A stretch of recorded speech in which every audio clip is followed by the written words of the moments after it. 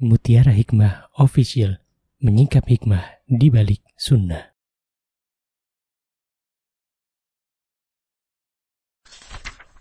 Salurkan donasi terbaik Anda untuk mendukung dakwah Mutiara Hikmah Official. Umroh akhir tahun plus Daurah Parenting Islami bersama Ustadz Hanan Yasir MA, Ustazah Imro'atul Azizah, dua kali sholat Jumat. Kelas Daurah Parenting setiap hari. Konsultasikan dan daftarkan diri Anda sekarang juga. Mari kita ikut serta dalam pembebasan tanah wakaf untuk pembangunan Masjid Mutiara Hikmah. Estimasi kebutuhan dana sebesar 1 miliar 125 juta rupiah. Bagi Anda yang ingin menyalurkan donasi, bisa melalui rekening Bank BSI di nomor rekening 2200220245 atas nama Masjid Mutiara Hikmah.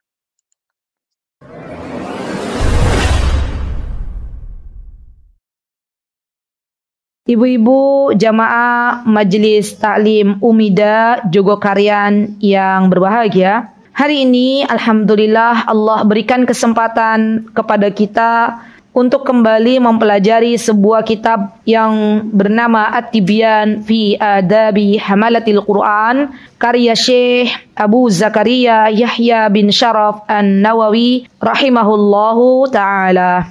Dan mari kita buka kitabnya, silahkan dibuka. Terakhir, Allahumma barik li ummati fi bukuriha sudah? Terakhir saya mana? Menuntut ilmu di waktu pagi belum? Belum. Baik, bismillah. Qala al-muallif رحمه الله تعالى. فصل. وينبغي أن يبكر بقراءته على الشيخ أول النهار.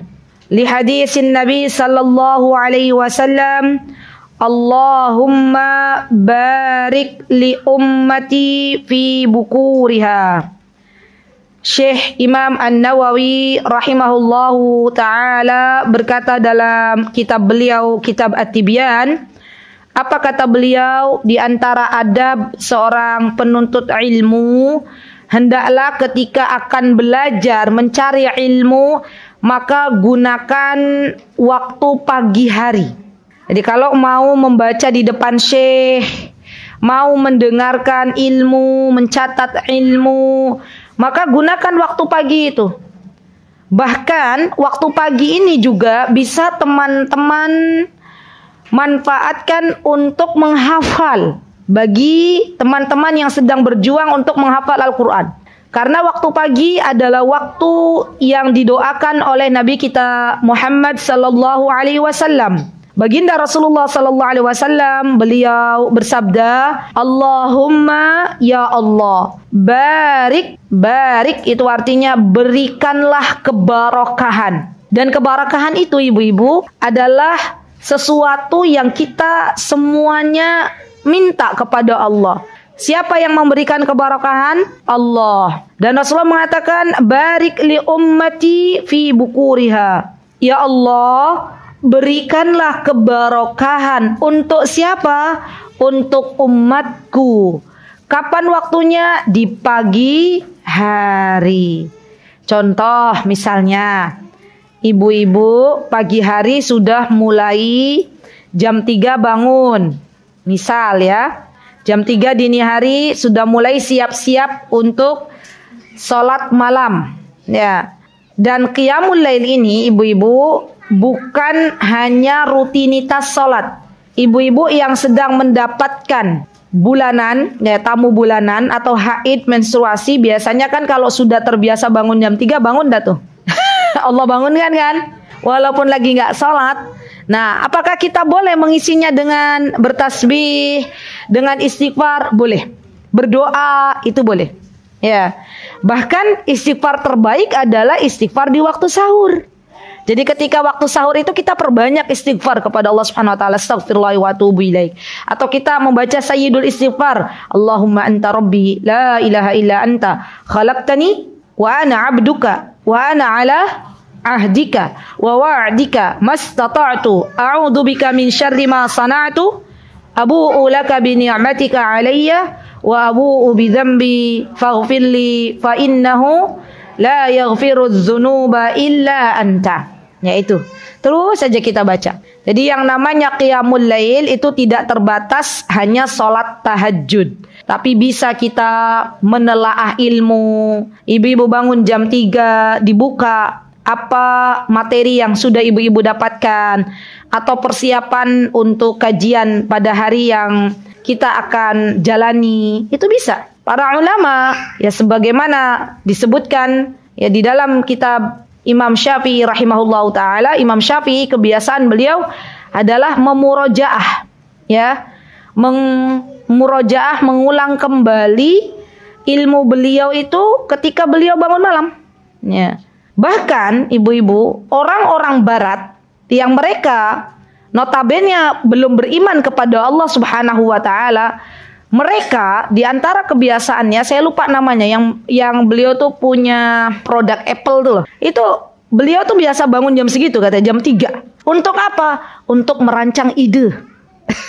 Lihat, orang-orang barat saja mereka bangun di jam-jam ya sepertiga malam tapi bukan untuk salat. Untuk apa mereka lakukan? Merancang ide dan itu mereka dapatkan manfaatnya. Bagaimana dengan kita orang-orang beriman di mana ketika kita bangun di sepertiga malam Allah Azza wa Jalla turun ke mana? Ke langit dunia. Ya, bahkan Allah Subhanahu wa taala mengatakan barang siapa yang meminta kepadaku maka akan aku beri. Masya Allah. Dilanjutkan ibu-ibu nanti setelah sholat malam menunggu yang mau ibadah puasa sahur misalnya ya Apalagi kita sekarang berada di bulan Muharram di mana disunahkan pada bulan Muharram ini untuk memperbanyak ibadah puasa. Ya, apakah boleh us puasanya setiap hari? Boleh, tapi tidak satu bulan penuh. Harus ada yang dikosongkan. Ya, misalnya ibu-ibu puasa 25 hari, itu boleh untuk bulan Muharram. Khusus spesial bulan Muharram itu diperbolehkan. Ya. Nah, Ketika kita sudah di waktu sholat subuh, maka kita sudah siap-siap untuk sholat subuh. Kemudian habis subuh inilah waktu yang terkadang apa ibu-ibu tidak semuanya kuat gitu ya. Kalau sudah jam 3 bangun biasanya apa habis subuh itu? Kantuk ya. Maka ketika kantuk itu tiba minta lagi pertolongan sama Allah ya Allah hilangkan kantuk ya Allah ya. Ya beraktivitas ya ganti aktivitasnya ya dan minta sama Allah. Dan jangan dibiasakan. Kenapa? Karena kalau polanya itu sudah terbangun, tidak tidur habis subuh, maka insya Allah ya badan kita tahu alarm. Oh berarti habis subuh tuh nggak tidur. Tapi sebaliknya, kalau habis subuh selalu tidur, selalu tidur, maka polanya sudah terbentuk habis subuh ti tidur. Nggih mboten? Padahal yang namanya habis subuh itu adalah waktu yang utama waktu yang banyak kita bisa melakukan banyak hal.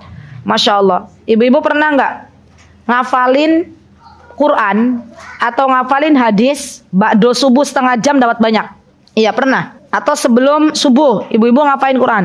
Tapi giliran siang hari ibu-ibu ngafalin Quran itu nggak masuk-masuk. Pernah? Ya, karena memang waktu pagi itu adalah waktu yang sangat-sangat berharga untuk kita belajar. Tapi sayangnya sebagian orang menggunakan waktu paginya untuk mencari dunia. Ya, mencari dunia. Boleh mencari dunia, tidak ada larangan dalam Islam mencari dunia. Setelah kita menjalankan kewajiban-kewajiban kita kepada Allah, maka boleh silakan berpencar mencari dunia. Tapi yang diutamakan adalah Allah dulu. Baru kemudian mencari dunia. Ya. Bahkan seorang sahabat, saya lupa namanya, seorang sahabat pedagang waktu itu, ketika beliau mendengar Rasulullah SAW mengatakan Abu Qilabah, mengucapkan Allahumma barik li ummati fi bukuriha, maka beliau senantiasa menjajakan dagangannya. Setelah beliau sholat subuh, beliau zikir pagi, kemudian beliau mengirimkan dagangannya dan beliau menjadi orang yang sukses. Sama, pelajar ketika pengen sukses, maka gunakan masa-masa pagi itu untuk banyak-banyak be belajar. Allah Azza wa Jalla akan berikan itu semuanya karena memang waktu pagi adalah waktu yang Allah Azza wa Jalla berikan keberkahan di dalamnya. Wa yanbaghi an yuhafidhu ala qiraati. Nah, ini dia nih. Bagi yang sudah punya hafalan, maka wajib baginya sudah seharusnya selayaknya memurojaah kembali hafalan yang telah dihafal. Bu, kalau boleh saya tanya, beratan mana menghafal baru dan memurojaah? Yakin? Yakin. Murojaah ya? Maka kalau kita mau punya hafalan baru, pastikan hafalan lama kita kuat. Agar tidak terlalu sulit untuk memurojaahnya. Contoh, ibu-ibu baca surah Al-Fatihah, ya, itu kira-kira sudah melekat atau belum? Sudah. Ditambah lagi kita setiap hari baca surah Al-Fatihah. Ketika hafalan itu sering diulang-ulang, maka semakin melekat dan Allah Azza wa Jalla berikan kepada kita kekuatan hafalan. Ya. Dan bagi teman-teman yang sedang menghafal Al-Qur'an, berjuanglah. Berjuanglah sampai Allah mencabut nyawa kita. Sampai kapan kita harus menghafal Quran? Sampai Allah kembalikan kita kepada Allah. Sampai kapan kita memuroja Al-Quran seumur hidup kita? ya.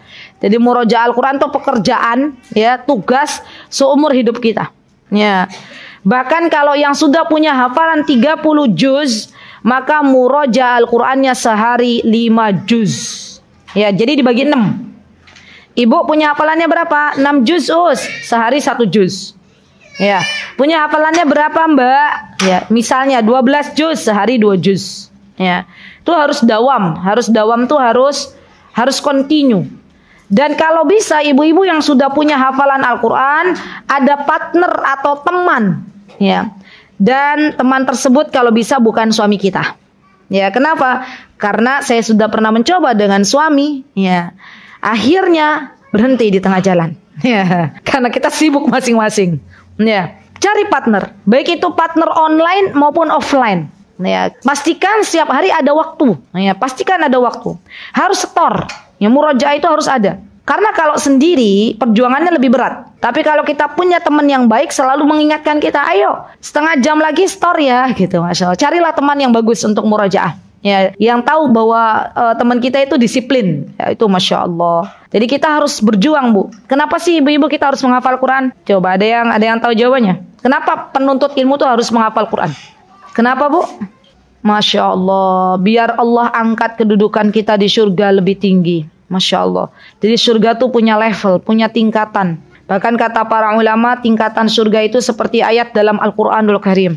Masya Allah. Dan kita semuanya pengen ya, tingkatan surga kita nanti adalah tingkatan yang tertinggi dan tidaklah seseorang bisa mendapatkan itu kecuali di antara faktor yang bisa menaikkan derajat seorang hamba adalah menghafal Al-Qur'an. Masya Allah. Baik. Kemudian wayam bagi an la yu'siro binaubatihi ghairahu. Ya, ini dia nih. Ibu-ibu, kalau kita lagi ada di halaqah Quran, maka sebaiknya kata Syekh kita kalau sudah siap nyetor tidak mendahulukan orang lain untuk setor duluan. Ya, kan kalau kita modelnya begitu. Monggo nyenengan rumiin gitu ya. Monggo nyenengan, nyenengan. Akhirnya nggak ada yang mau setor. Ya. Loh itu saya bilang gitu. Wayam bagi an la yu'siru binaubati wairahu. Ya. Isar Taksir itu artinya isar. Isar itu mendahulukan orang lain. Mendahulukan orang lain dalam bab apa? Bukan dalam bab kebaikan gitu ya. Kalau kebaikan kita duluan yang maju. Ya. Tapi dalam bab kepedulian ya. Misalnya kita mau minum, orang lain butuh minum, ya sudah. Misalnya kita masih ada, ya kita kasih kepada orang lain atau biarkan orang lain dulu yang meminum. Nah, itu isar yang benar. Ya.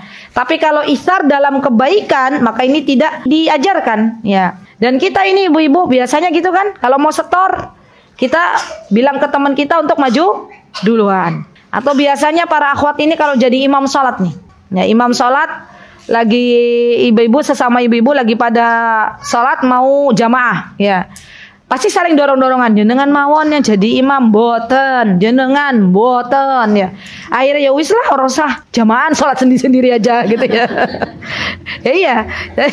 Lah itu tak ada ilmunya Coba lihat siapa yang paling banyak hafalan Al-Qur'annya. Maju. Kalau sama semuanya sama 30 juz para hafidhoh misalnya ya. Maka siapa yang paling duluan hijrahnya? Ya, Masya Allah itu ada ilmunya semuanya. Jadi kalau dalam rangka kebaikan, maka yang ada kaidah dalam Islam adalah berfastabiqul khairat. Berlomba-lomba dalam kebaikan. Fa innal ithari bil qurabi makruh. Ya. Karena isar mendahulukan orang lain dalam hal ibadah itu makruh. Ya. Jadi ya dalam isar tuh bukan dalam hal ibadah. Kalau dalam kebaikan, dalam ibadah kita terlebih dahulu yang mencontohkan, yang memberikan teladan yang baik, bukan orang lain yang diminta untuk mendahului kita. Ya. Bi khilafil isari bi hududin nufus. Ya. Dan ini berbeda dengan isar untuk kepentingan pribadi. Nah itu tadi ya. Kalau misalnya kita lihat kawan kita nggak punya baju atau belum punya baju yang bisa dipakai untuk pengajian, kita punya ya kita e, berikan dulu kepada orang lain. Ya kita masih ada nih. Ya sudah kita dahulukan orang lain untuk memakai baju yang kita punya. Fa innahu mahbubun. Maka itu adalah sunnah. Mahbub itu adalah sesuatu yang dianjurkan. Maka isar dalam perkara dunia itu dianjurkan oleh Nabi kita Muhammad sallallahu alaihi wasallam. Fa in ra'a syekh al-maslaha fil ithari fi ba'd al-awqat li ma'na syar'i fa asyara alaihi bidzalik imtisal awa amrahu. Nah, kalau misalnya syekhnya yang memerintahkan seorang murid untuk terlebih dahulu menyetor maka ini tidak apa-apa. Berarti saya tahu masalahnya yang mana. Ya.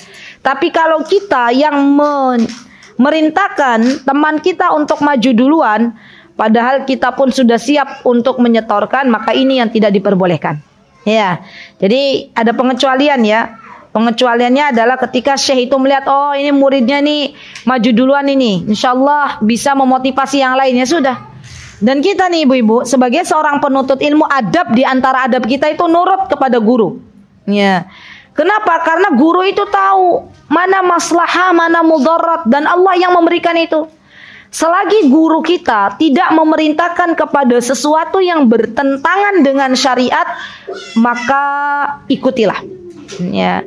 Karena guru ini adalah seseorang yang diberikan oleh Allah Subhanahu wa taala warisan. Warisan dari para siapa? Dari para nabi. Bukannya para sahabat ridwanullahi alaihim mereka adalah orang-orang yang terdepan ketika harus mentaati Allah dan Rasulnya? Ya.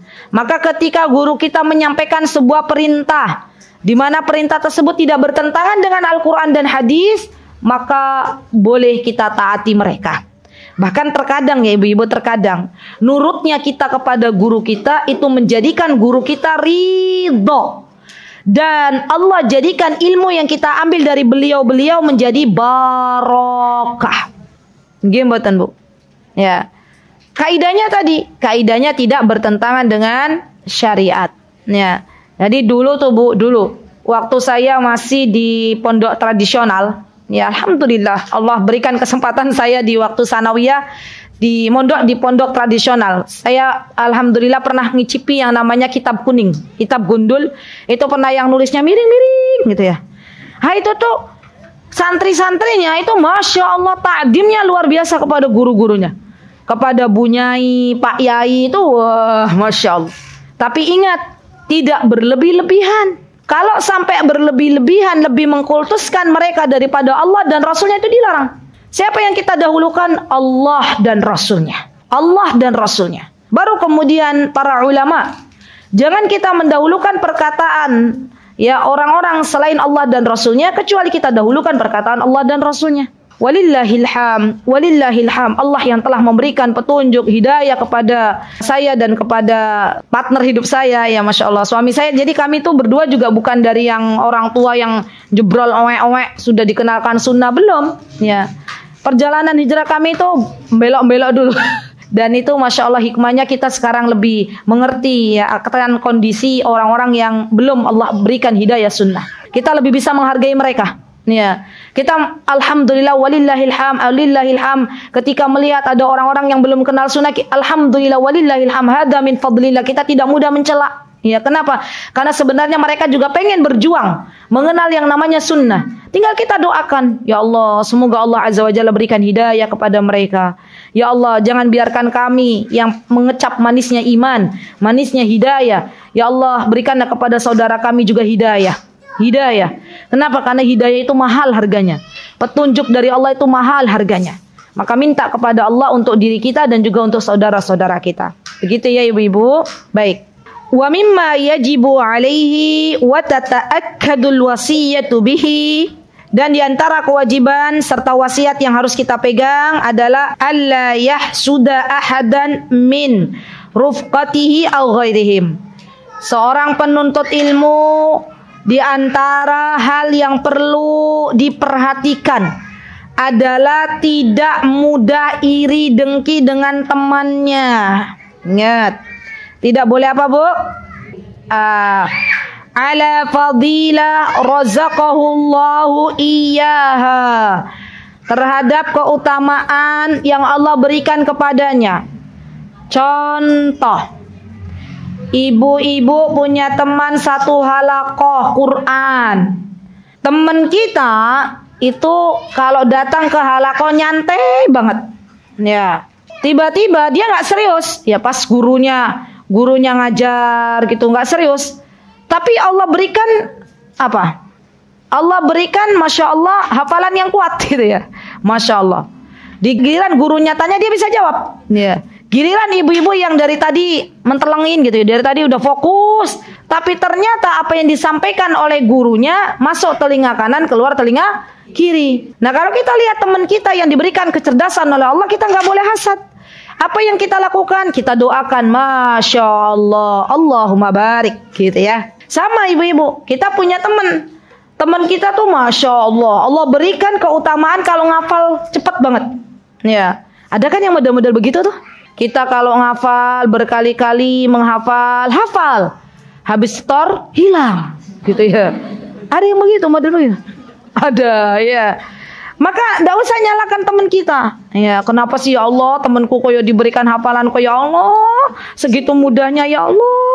Lah saya dari malam sudah pontang panting pontang panting koyo hafalannya hilang. Mending kita istighfar. Astagfirullah wa atubu ilaik gitu ya. Dan untuk hafalan kuatub ada usahanya, Bu. Apa di antara usahanya? Nah, ini tips yang mungkin kadang saya berikan, kadang saya lupa memberikan. Pertama, banyak-banyak mendekat kepada Allah. Itu hafalannya kuat. Yang kedua, minta kepada Allah agar diberikan hafalan yang kuat. Siapa yang memberikan hafalan kuat? Allah. Yang ketiga, tidak terlalu banyak memakan sesuatu yang terlalu pedas. Itu hafalannya nggak kuat tuh. Orang Indonesia Ustazah kepripun ge kalau makan tanpa sambal kio seperti masakan gak ada garam. Gimana Bu? Jadi makanan terlalu pedas itu itu juga melemahkan hafalan. Coba lihat orang-orang Arab bu, mereka suka pedas apa mboten? Mboten. Nggak nggak suka mereka. Mereka tuh nggak nggak tahan lidahnya pedas. Kenapa? Karena mereka memang dari kecil dididik untuk tidak banyak makan yang pedas-pedas. Ya. Lah orang Indonesia makannya pakai apa bu? sambel. Ibu-ibu tuh uh, lebih nikmat makan pakai nasi panas tempe sambel gitu ya. Nah, itu top markotop gitu ya. Dibandingkan dengan makan yang lain. Ya kemarin pas hajian itu ibu-ibu Indonesia Raya ya itu di situ ada daging kambing, ada daging macam-macam. Katanya us ada yang kurang. Apa yang kurang? Sambel katanya masya Allah. Jadi sambel tuh nomor satu di Indonesia ya mengalahkan macam-macam itu ya. Tapi kalau sudah menghafalkan mulai kurang sedikit-sedikit. Ya. Yang keempat, kurangi yang namanya makan asam-asam yang terlalu masam. Itu juga melemahkan hafalan. Jadi tidak terlalu pedas, tidak terlalu asam. Kenapa bu? Oh iya, ah, cukanya. Tapi cuka boleh diminum, tapi cuka apel. Cuka apel, mahal us ya. Baiklah. Kemudian yang kelima, kurangi namanya minyak-minyakan. Aduh, us, itu yang kita pengen us gorengan ya. Jadi kalau ibu-ibu ngapal Quran kurangi minyak-minyakan. Kenapa? Karena banyaknya minyak itu akan menghambat yang namanya tenggorokan ini. Dan itu akan melemahkan hafalan juga. Ya. Mulai pakai minyaknya minyak zaitun. Hmm, minyak zaitun tuh bisa untuk masak. Males. Minta sama Allah, Bu. Minta sama Allah. Kemudian ibu-ibu, cemilannya sudah mulai dirubah. Cemilannya bukan lagi seblak, Apa lagi? Apa ibu-ibu sukanya? Cilok, Ah, basreng apalagi? Ah, sudah bukan lagi itu. Tapi cemilannya kismis. Hmm, mahalus ya. Allah itu kaya bu minta sama Allah. Nah, kismis kismis. Kismis itu anggur yang dikeringkan. Zabid itu para ulama zaman dulu kalau mau ngapal Quran makan kismis. Ya, kita kalau mau hafal Quran makan basreng. ya Allah ya. Kenapa? Oh nunggu oleh-oleh haji ya Allah setahun sekali ya makan kismis. Masya Allah. Sekarang bisa beli di toko oleh-oleh haji. Ya. Saya sudah mulai juga anak-anak bekalnya udah mulai kismis ya kismis. Masya Allah. Sudah berapa itu? Oke. Okay. Minumnya kurangi gula, tambahkan madu. Madu. Jadi bukan gula lagi minumnya, madu. Makanya madu yang asli itu mahalnya luar biasa, tapi bagus. Ya. Kenapa bu? Madunya madu asli ya, tapi bukan madu yang pakai jilbab. ya madu madu minum. Ya, oke. Okay. Sudah berapa bu? Tujuh. Apa lagi ya? Kalau ada zam-zam, ah mahal lagi us itu haji lagi gitu ya. Maka boleh minum air zam-zam itu sedikit demi sedikit sambil meminta kepada Allah agar dijernihkan pikirannya, akalnya dan dikuatkan hafalannya. Anehnya bu, kita orang Indonesia itu kalau suruh beli zam-zam, beli kismis mahal, tapi giliran ada model baju yang terbaru kita, ah itu dia. Ya, masya Allah. Sudah bu, sampun? Baik. Kemudian makanan yang bisa dimakan juga adalah uh, kurma dan buah tin. Itu juga bagus. Jadi kurma tuh bukan cuman pas Ramadan atau pas nunggu oleh-oleh haji. Harus ada setiap hari di rumah kurma. Ya, kurma. Kurma, buatin. Kalau yang seger lebih bagus, yang kering juga nggak apa-apa. Ya itu Masya Allah orang-orang yang makanannya seperti itu Masya Allah Allah sehatkan badannya biasanya Dan Allah jauhkan dari segala segala penyakit atas izin Allah Subhanahu wa taala. Baik, siap ya Bu ya? Ya, dan untuk menguatkan hafalan tolong dijaga telinganya, matanya, jangan melihat sesuatu yang tidak Allah ridhoi. Hmm, hati-hati ya. Baik. Sudah berapa Ibu-ibu? Pas 10 ya. Coba cek-cek yang 10 itu yang kira-kira mudah untuk didapatkan yang mana? Yang mudah Ibu praktekkan. Yang mudah untuk Ibu praktekkan. Kurangi gula ganti madu, masya Allah. Ya. Dan pastikan madunya itu yang asli ya Mbak. Madu itu bergrade-grade, berlevel-level. Ya, baik. Halas. Jadi kita tidak boleh yang namanya ha hasad, dengki iri. Wa alla yu'jaba bima hassalahu. Lihat nih. Dan kita tidak boleh yang namanya berbangga diri atau kita hasad terhadap hasil yang orang lain dapatkan. Masya Allah. Semuanya dari Allah Subhanahu wa taala. Di sini disebutkan wa tariquhu fi nafil ujub. Kalau ada rasa sombong pada diri kita, kalau muncul rasa ujub atau rasa berbangga diri pada diri kita, apa yang kita harus lakukan? Kata Syekh an yudzakkira nafsahu annahu lam yuhassil ma hassala bihaulihi wa quwwatihi wa innama huwa fadlun minallahi ta'ala. Sendaklah kita harus ingat-ingat diri kita masing-masing bahwa apa yang kita dapatkan selama ini baik dari hafalan Al-Quran, hafalan hadis, ataupun ilmu-ilmu yang Allah titipkan kepada kita, itu sesungguhnya bukan karena kemampuan kita, tetapi semuanya karena fadl atau keutamaan dari Allah Subhanahu wa Ta'ala. Orang-orang yang punya mindset seperti ini, maka Allah jadikan kehidupannya lebih tawaduk lebih menjadi orang yang rendah hati, tidak mudah untuk membuat dirinya sombong, tidak mudah juga untuk meremehkan orang lain. Toh kita pada asalnya juga seorang bayi yang tidak tahu akan arti bismillah. Toh kita juga asal muasalnya seorang bayi yang tidak tahu akan huruf alif. Maka itu semuanya dari Allah dan tidak ada yang perlu kita sombongkan. Dan ingat Bu, ingat bahwa apa yang Allah titipkan kepada kita ini amanah yang nanti Allah akan minta pertanggungjawabannya di akhirat. Dan di atas langit itu masih ada langit. Jadi nggak ada yang perlu disombongkan. Para ulama zaman dahulu kala mereka tidak ada yang namanya berhenti dalam belajar, terus belajar.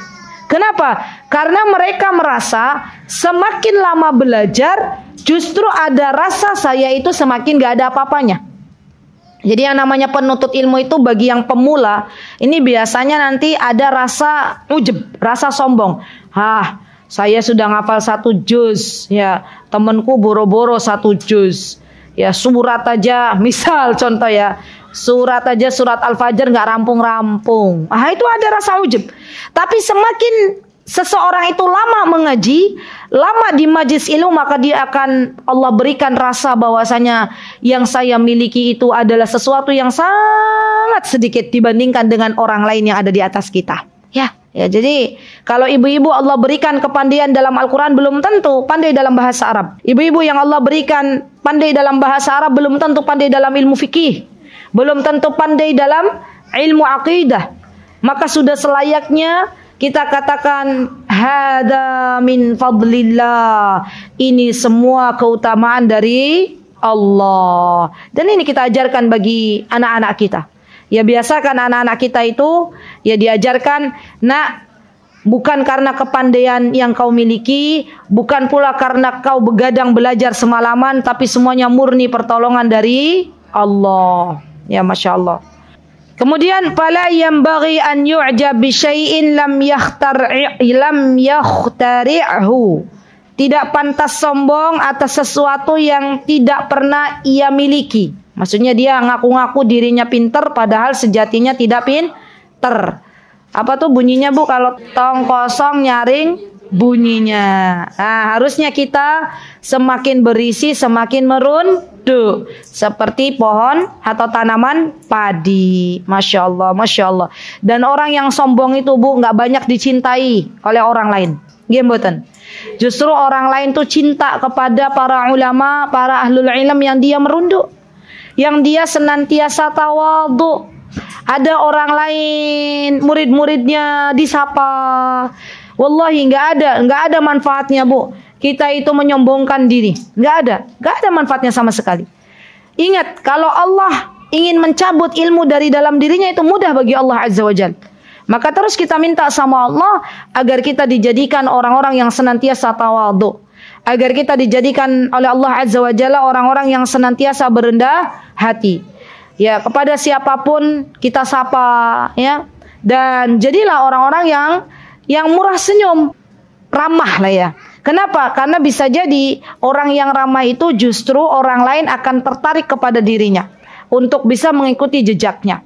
Jadi saya sering nih ibu-ibu, wahai para penuntut ilmu, wahai para penuntut ilmu, kalau ada datang orang baru menuntut ilmu, sapa mereka, sapa mereka. Jangan biarkan orang lain yang baru datang ke pengajian tuh berdiri sendirian. Sepertinya dia nggak ada teman. Ya kita ajak, yuk duduk mbak bareng saya mbak, belum ada kitabnya kan. Nih, silahkan kitab ini untuk mbak nanti saya beli lagi Masya Allah. Ada nggak di antara ibu-ibu yang punya pikiran begitu? Harus punya. Ya kenapa? Karena biasanya orang yang datang menuntut ilmu, di awal dia menuntut ilmu itu kesan pertama begitu terasa. Coba kalau datang pertama sendirian nggak ada yang negur. Untuk datang kedua kali berat napa bacaan? Berat. Ya. Tapi kalau teman-temannya baik, nggak ada buku dikasih bukunya, nanti saya bisa beli lagi, masya Allah. Dia datang kedua kali, alhamdulillah berarti komunitas di sini tuh orangnya baik-baik, masya Allah. Dan jadilah orang yang bisa menebarkan banyak manfaat. Ya, itu pesan saya ibu-ibu ya. Baik. Kemudian di sini bal auda'ahu Allah taala fi. Tapi yang perlu kita lakukan adalah menitipkannya semuanya kepada Allah Subhanahu wa taala. Masya Allah ini penting banget. Jadi kita menyandarkan diri kita kepada Allah Subhanahu wa taala. Jangan pernah menganggap kita itu terlalu benar, jangan pernah menganggap kita itu terlalu suci dan orang lain tidak benar. Jangan. Kita terus saling mendoakan. Terus saling kita mendoakan. Selagi kita masih bisa mendoakan saudara kita maka kita doakan. Ya, wa tariquhu fi naf'il hasad dan tips untuk menghilangkan hasad. Kalau tadi tips untuk menghilangkan ujub, kalau ini tips untuk menghilangkan hasad. Oh, alhamdulillah Allah ingatkan. Sebelum itu ibu-ibu, saya izin menyampaikan. Jadi para ulama itu di antara kebiasaan mereka, kalau mereka nggak pengen sombong dalam hidupnya, mereka begini. Ini kebiasaan mereka. Kalau mereka melihat orang yang lebih tua, orang yang lebih sepuh, senior, maka mereka akan mengatakan, "Ya Allah, ibu itu lebih senior daripada saya usianya. Ya Allah, ibu yang ada di depan saya itu lebih mulia dari saya." Kenapa? Karena beliau sudah lama hidup di dunia dan sudah banyak amal salihnya. Gitu ya. Kalau kita melihat orang yang lebih muda, katakan pada diri kita, "Ya Allah, adik ini usianya masih lebih muda daripada saya." Artinya berarti dosanya lebih sedikit daripada saya. Nah itu tips. Ya. Jadi kita tuh memandang orang lain tuh bukan dengan pandangan kebencian, bukan dengan pandangan kesombongan, tidak. Kenapa? Karena kita mengatakan bahwa orang lain itu lebih baik daripada saya. Orang lain itu lebih mulia daripada saya. Yang muda lebih sedikit dosanya, yang tua lebih banyak amalnya. Ya, dan kita berada di pertengahannya. Ya. Dan terus, terus, terus kita uh, lakukan itu kalau ada sesuatu terjadi pada diri kita. Ya Allah, ya yang ada di samping saya ini ya Allah, masya Allah, dia orang yang masya Allah, orangnya banyak berbuat kebaikan, sedangkan saya kadang berbuat baik, kadang tidak. Ya Allah, ampunilah dosa-dosa saya. Terus. Ya, masya Allah. Baik. Watariquhu fi naqil hasad. Ya, di antara tips atau jalan untuk menghilangkan hasad. Bagaimana caranya? An ya'lam anna hikmatallahi ta'ala iqtadat ja'la hadhil fadilati fi hada. Ketahuilah hendaklah kita mengetahui bahwa hikmah Allah itu diberikan kepada siapa yang Allah berikan keutamaan kepadanya. Ya. Kenapa Bu? Karena Allah itu dat yang maha tahu akan diri seorang hamba. Ketika Allah berikan keutamaan pada diri seorang hamba, maka Allah paham banget bahwa kebaikan itu akan bermanfaat bagi hamba tersebut. Ya, jadi kita kembalikan lagi kepada Allah Subhanahu wa taala. Fayambaghi an la ya'taridu 'alaiha. Dan kita tidak boleh menghilangkan ya apa-apa yang telah Allah Azza wa Jalla berikan kepadanya. Allah yang telah memberikan dan Allah jua yang telah menitipkan kepadanya maka semua kita patutnya mensyukuri apa yang telah Allah beri kepada kita. Ya. Wala yakraha hikmatan aradaha Allah taala walam yakraha wallahu a'lam. Dan begitu pula kita tidak boleh membenci hikmah Allah yang Allah berikan kepadanya kepada kawan-kawan kita. Dan itulah sifat seorang yang beriman. Jadi sifatnya orang beriman itu kalau melihat ada orang lain yang lebih utama dari dirinya, kalau kita melihat sesuatu yang membanggakan pada diri orang lain, maka kita patut untuk mendoakannya. Bagaimana caranya, Bu? Masya Allah, Allahumma barik. Apa yang kita ucapkan? Masya Allah Allahumma barik Atau barakallahu laki. Ya Masya Allah Jadi jangan sampai Hasadnya kita kepada saudara kita itu Akhirnya Allah mencabut Ya nikmat dari saudara kita. Jadilah orang-orang yang menyayangi sesama orang-orang beriman Ya. Tidaklah Allah Azza wa Jalla berikan itu kepada orang beriman kecuali Allah tahu ada maslahat di dalamnya, ada kebaikan di dalamnya dan tidak patut bagi kita untuk mengetahui lebih dalam daripada Allah Subhanahu wa taala. Karena Allah itu tahu mana yang terbaik untuk hambanya. Baik, satu lagi ya, Bu. Kemudian al-babul khamis fi adabi hamilil Quran. Bab yang kelima dari adab yang harus dimiliki oleh orang-orang yang sedang bermuamalah dengan Al-Quran. Wa min adabihi dari adab di antara adabnya an yakuna ala akmalil ahwali wa akramis syama'il.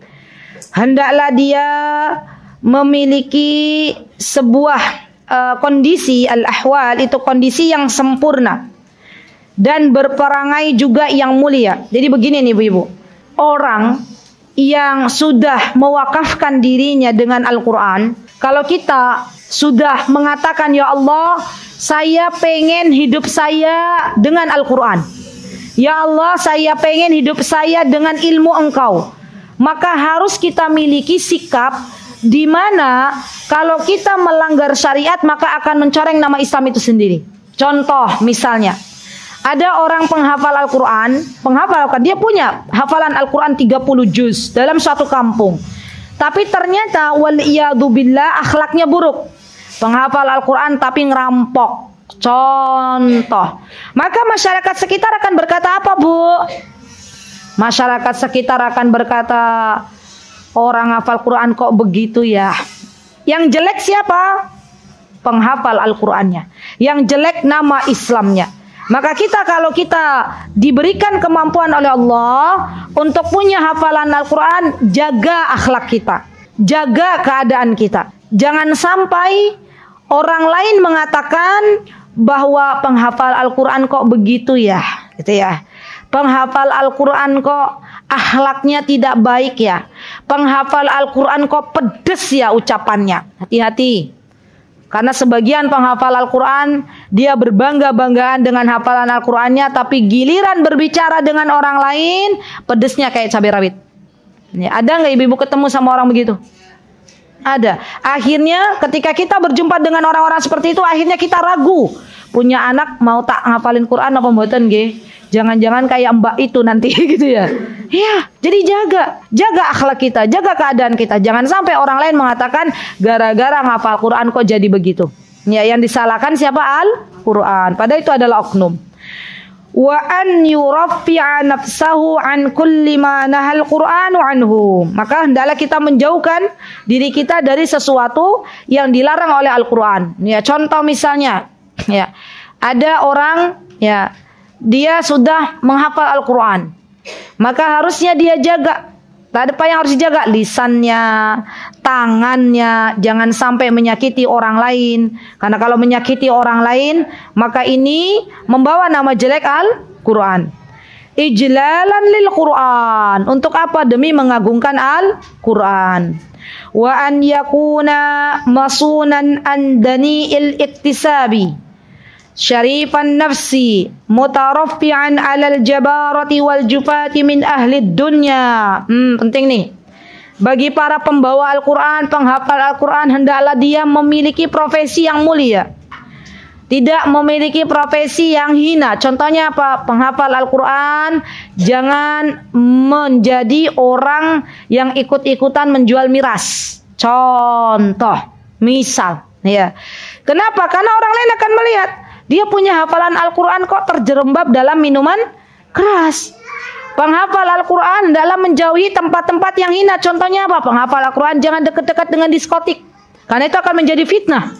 Iya, akan menjadi fitnah. Dia hafal Quran kok datangnya ke diskotik. Misalnya. Ya. Dan ini semuanya hendaklah kita jauhi. Kenapa? Untuk mengagungkan Al-Quran.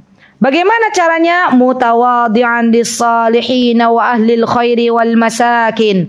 Hendaklah seorang penghafal Al-Qur'an itu mendekat kepada orang-orang salih. Karena yang namanya fitnah, Bu, bisa jadi hari ini hafal Quran 30 juz, besok dia membunuh. Ya bisa jadi di hari ini menghafal Al-Quran 30 juz, besok minum khamr.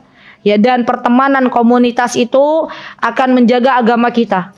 Maka hari-hari yang kita lalui dengan orang-orang salih adalah hari-hari yang terbaik. Ya, milikilah teman-teman yang salih, teman-teman yang baik akhlaknya. Dan tentunya di sini wal masakin orang-orang miskin yang kerjaannya bukan hanya mengejar dunia, tapi orang miskin yang memiliki muruah, bukan orang miskin yang meminta-minta. Ya, orang miskin itu ada dua. Ada orang miskin yang dia hobinya meminta-minta, ada orang miskin yang dia menjaga diri. Ya makanya kita kalau mau berinfak lihat dua keadaan. Kita berikan kepada orang miskin yang dia minta-minta, juga kita berikan kepada orang miskin yang dia menjaga diri. Paham tidak menjaga diri, Bu? Dia nggak minta-minta, tapi dia memang keadaannya miskin. Maka kita berikan itu. Ya, dia lebih berhak untuk mendapatkan sedekah infak dari kita. Ya, masya Allah. Wa an yakuna mutakhasyan. Wah. Seorang yang punya ya dititipi oleh Allah dengan Al-Quran, maka hendaklah jadi orang yang dia mudah untuk khusyuk kepada Allah, fokus. Ya, salatnya khusyuk, ngajinya khusyuk, baca Al-Qur'annya khusyuk, bukan dikit-dikit salat Allahu Akbar yang keinget dunia. Ya. Maka kita perlu belajar bagaimana cara khusyuk untuk salat. Da sakinatin wa waqar. Masya Allah. Orang yang punya ya hafalan Al-Qur'an, mengerti akan artinya, mengamalkannya. Seorang penuntut ilmu yang bermuamalah dengan Al-Qur'an harusnya punya ketenangan dalam dirinya. Dan tenang ini adalah rizki dari Allah Subhanahu wa taala. Bu, pernah nggak lihat orang ya, Allah berikan ujian bertumpuk-tumpuk tapi dia tenang menghadapinya. Kita enak nggak berteman dengan orang-orang seperti itu? Enak. Pernah lihat nggak orang yang mudah cemas? mudah panik. Kita enak nggak berteman dengan orang-orang yang begitu? Anda. Berarti kalau kita punya teman yang mudah cemas, mudah panik, jangan deket-deket. Karena yang namanya sifat itu mudah menular. Ya, betul. Jadi saya punya jamaah yang curhat kepada saya, Ustazah saya itu punya teman yang dikit-dikit panik, dikit-dikit cemas gitu ya. Sampai kalau ada apa-apa tuh nelpon saya dan bicaranya cepat kencang lagi gitu ya. Terus gimana ya? Akhirnya us lama kelamaan kok telinga saya jadi panas ya us katanya gitu. Coba, masya Allah. Tapi beda sama orang yang tenang. Ya gimana kabarnya Mbak? Alhamdulillah. Padahal dia lagi sakit. Ya. Gimana kabar anak-anak Mbak? Alhamdulillah. Padahal anaknya belum kasih makan. Ya, jadi dia tenang aja menghadapi. Toh ketika dia panik, masalah juga nggak nggak nggak akan selesai. Ya, maka seorang yang beriman ini harusnya punya namanya sifat sakinah, wakar, ketenangan. Dan ketenangan ini mahal harganya. Orang yang tenang itu biasanya ketika memutuskan sesuatu bagus keputusannya. Beda sama orang panikan. Beda sama orang cemasan. Orang yang mudah panik, mudah cemas, itu biasanya sering sakit. Kenapa? Karena dia terlalu penuh otaknya. Ya, overthinking gitu ya. Apa-apa dipikir, apa-apa dicemasin, padahal sesuatu belum terjadi. Ya, jadi tenang, tenang. Saya suka diajarin tenang juga. Kata suami, perempuan itu biasanya ya berbicara dulu baru bertindak. Laki-laki, kata suami saya, kata Ustadz Hanan, itu mikir dulu, mikir dulu baru bertindak. Ya, ya kan? Kalau kita bicara dulu baru mikir, baru bertindak. Kalau laki-laki, apa pun yang dilakukan, Bu? Mikir dulu baru bertindak. Maka kata beliau, hati-hati dalam bertindak wahai kaum perempuan, gitu ya. Masya Allah. Iya. Dan keputusan itu, keputusan kalau saya amati gitu ya Bu ya. Keputusan seorang laki-laki itu terkadang panjang, maksudnya dia lebih logis gitu ya. Iya dan ke depannya tuh bagus. Makanya saya suka diskusi dengan dengan suami saya karena memang masya Allah kalau kita diskusi kalau kita pakai A beliau memutuskan B gitu ya masya Allah dan tentunya minta petunjuk kepada Allah Subhanahu wa taala. Baik, kemudian di sini apa yang disebutkan oleh Syekh Faqad ja'a Umar bin Al-Khattab radhiyallahu anhu annahu qal. Ah, Umar bin Khattab beliau berkata, "Ya ma'syaral qurra." Wahai orang-orang yang ahli dalam Al-Qur'an, Al-Qurra atau di sini disebutkan Qurra itu al-jama'atul ladina amrahum wahid ya. Para penghafal Al-Qur'an atau para pemegang Al-Qur'an. Irfa'u ru'usakum, ya tegakkanlah kepala-kepala kalian. Faqad wadaha lakumut tariq wastabiqul khairat wa la takunu 'iyalan 'alan nas. Maksudnya kalian tuh harus punya kemuliaan sudah Allah jelaskan dengan sejelas-jelasnya jalan kalian. Berfastabiqul khairat, berlomba-lombalah dalam kebaikan. Jangan kalian rendahkan kalian di hadapan orang lain. Jadi Masya Allah. Para ulama itu, mereka itu anti yang namanya menghinakan diri di depan manusia. Mencari muka di depan manusia. Enggak. Ya, mereka benar-benar menjadi orang-orang yang masya Allah, orang-orang yang mintanya kepada Allah. Ya, punya harga diri di depan manu, manusia. Wa an Abdullah bin Mas'ud radhiyallahu anhu qala yanbaghi li hamilil Qur'an an yu'rafa bilailihi idan nasu naimun. Ya Allah, nih Bu. Ini teplak banget ini nasihatnya. Apa kata Abdullah bin Mas'ud? Orang-orang yang sedang berproses dengan Al-Quran, bermuamalah dengan Al-Quran hendaklah mereka punya malam harinya diisi dengan bangun malam. Ya, bukan dengan tidur terus. Ya. Wa binaharihi idan. Dia juga hendaklah memperbanyak puasa. Jangan memperbanyak makan ketika orang lain dalam keadaan muftir, dalam keadaan sedang tidak berpuasa. Jadi malamnya untuk bangun malam, siangnya untuk berpuasa. Dan di antara yang melemahkan hafalan juga banyak makan, banyak tidur, itu melemahkan hafalan. Ya. Wa bihuznihi idan nasu yafrahun. Dia juga sedih, merasa tidak terlalu bergembira sekali. Maksudnya uh, sedih sewajarnya, gembira sewajarnya. Ya wa bibukaihi idzan nasu yadhakun. Dia banyak menangis. Dikala manusia banyak tertawa. Wa bisamtihi idzan nasu dan dia juga punya kewibawaannya ketika manusia berada dalam kerusakan. Wa bi khusyu'ihi idzan nasu yakhtalun. Dan dia juga orang yang khusyuk. Ketika orang lain banyak yang tidak berada dalam kehusyuan. Baik. Kemudian wa anil hasani rahimahullahu taala Inna man kana qablakum ra'awul qur'ana rasaila min rabbihim fakanu yatadabbarunaha bil lail wa yanfidunaha bin nahar. Para ulama zaman dahulu mereka itu melihat bahwa Al-Qur'an ini adalah surat cinta dari Allah Subhanahu wa taala. Maka kalau kita sudah melihat surat cinta, maka kita akan mempelajarinya dengan penuh kehusuan. Akan mempelajarinya dengan penuh kerinduan Ya, masya Allah. Sama seperti seorang istri lama tidak mendapatkan surat dari kekasihnya, dari belahan hidupnya, suaminya, maka ketika mendapatkan surat, maka dia girangnya luar biasa. Ya, jadi menjadikan bahwa ini adalah surat dari Allah Subhanahu wa taala. Wa 'anil Fudail bin Iyadi rahimahullahu taala ينبغي لحامل القرآن ألا تكون له حاجة إلى أحد من الخلفاء فمن دونهم Masya Allah Bagi para penghafal Al-Quran atau orang-orang yang sedang bersama Al-Quran Maka hendaklah memiliki sifat tidak menggampangkan diri untuk banyak meminta kepada orang lain. Jadi lahu hajatun ila ahad. Maksudnya kita tidak kemudian hajat kita, kebutuhan kita itu langsung kita minta kepada orang lain, tapi kepada siapa? Kepada Allah dulu. Kita minta dulu kepada Allah. Baru kemudian Allah yang menggerakkan hati orang lain untuk bisa, masya Allah ya, untuk bisa memberi kepada kepadanya.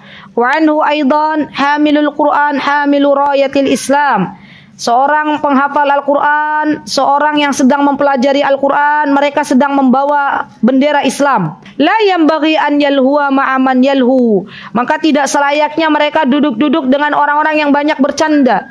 Orang-orang yang banyak menghambur-hamburkan waktunya wala yaswa ma'ayan ma'aman yasu dan orang-orang yang melalaikan diri dari Allah Subhanahu wa taala.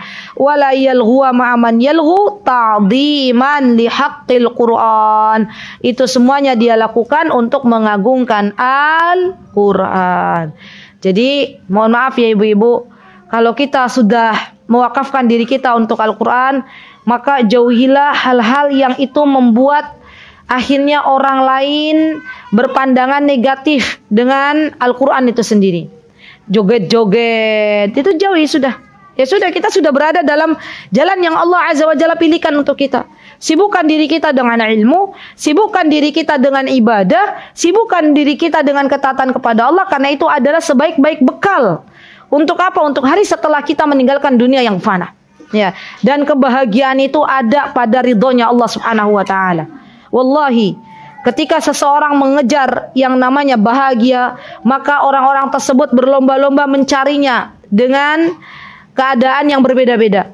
Maka di antara kata para ulama, di antara kebahagiaan yang harus kita syukuri adalah ketika Allah menyibukkan diri kita dengan ilmu. Maka itulah kebahagiaan yang sejati. Jadi kalau Allah sudah mendekatkan kita, diri kita dengan ilmu, pegang itu erat-erat. Kalau Allah sudah mendekatkan kita dengan orang-orang yang salih, pegang itu erat-erat. Kalau Allah sudah menyibukkan diri kita bermanfaat untuk orang lain, jaga konsisten. Jangan kita melepaskannya. Contoh misalnya, ibu-ibu pagi hari sudah sibuk ya memberi makan kepada tetangga-tetangganya. Pegang itu. Itu kebahagiaan sejati. Jangan dilepas. Kenapa? Karena kita tidak tahu bagaimana cara Allah mewafatkan kita. Ya kalau Allah sudah berikan kita kesibukan, yang mana kesibukan itu adalah sesuatu yang bermanfaat untuk orang lain, maka tolong dipegang. Bisa jadi Allah mewafatkan kita dalam keadaan kita sedang berbuat baik. Allah mewafatkan kita dalam keadaan kita sedang menuntut ilmu. Allah mewafatkan kita dalam keadaan kita sedang sedekah. Allah mewafatkan kita dalam keadaan kita sedang menolong orang lain. Wallahu taala alam. Semoga Allah azza wa jalla karuniakan untuk kita ilmu yang bermanfaat. Semoga Allah azza wa jalla karuniakan kepada kita husnul khatimah. Semoga Allah subhanahu wa taala mengaruniakan untuk kita semuanya surga firdaus. Amin. Allahumma amin. Itu yang bisa saya sampaikan. Jikalau ada yang benar datangnya dari Allah Subhanahu wa taala. Jikalau ada kesalahan datangnya dari saya pribadi, saya memohon maaf yang sebesar-besarnya. Aku lu qauli hada wastaghfirullah li wa lakum wa akhiru da'wana anil hamdulillahi rabbil alamin. Wassalamualaikum warahmatullahi wabarakatuh. Mutiara Hikmah Official menyingkap hikmah di balik sunnah.